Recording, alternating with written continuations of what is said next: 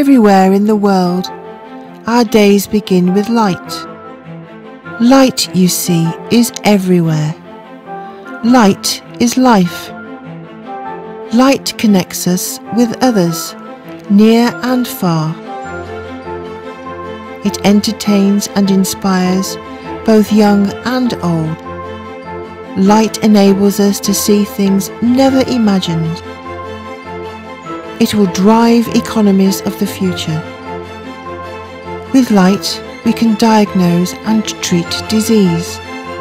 It helps protect and secure our communities. Light will be key in discovering solutions to society's most pressing problems. And as the lights go down around the world and our days end,